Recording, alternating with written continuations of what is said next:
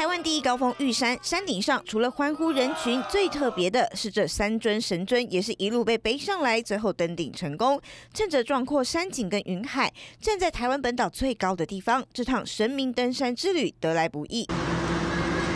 这是小琉球三龙宫、观音妈跟王爷宫，以及高雄龙凤宫碧霞元君登山前的准备。除了基座外，更是得用绳子层层固定，连搭车出发，神明也要绑安全带。出发，出发！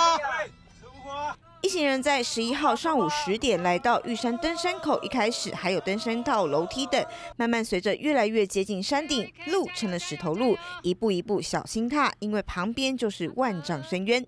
跟我招招手。耶！你今日是排第几尊？洪牙公。最后一段路真的艰辛，山坡陡峭，山峰强劲。信徒们一行十人，大家都穿着先锋、马夫跟代表各神明的服装，斗笠和全身装备代表尊敬。而神明攻顶玉山，其实三年前就要来。哦，三月份开始抽签，我们再抽不中的话，取消所有的行程。呃，简讯说我们全部中签，在七月十一号。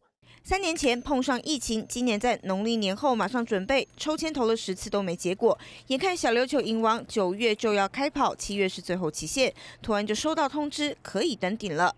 信徒们代表科巡委员会背着神尊攻顶成功，也为接下来的小琉球银王祭带来好兆头跟最成功的暖场。三顺朱俊杰、黄启超、古不仙，屏东报道。